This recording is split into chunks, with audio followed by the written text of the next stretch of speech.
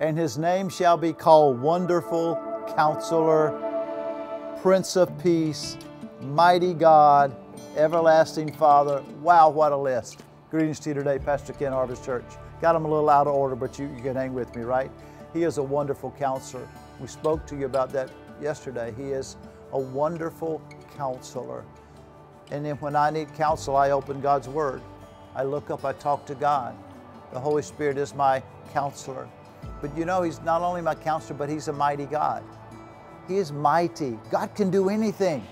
He gives me counsel, but I know that when I'm talking to God, I'm talking to someone who can change my circumstances, change my situation. He can go before me, right, and lead the way.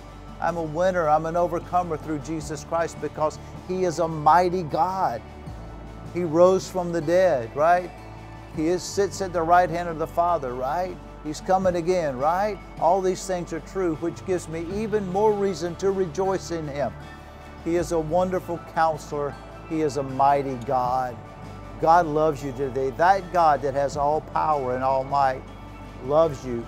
He'll come into your heart. He'll come into your life if you ask Him today, Lord, come into my heart and my life. And then through His power, you can know that you can do all things through Jesus Christ who loves you.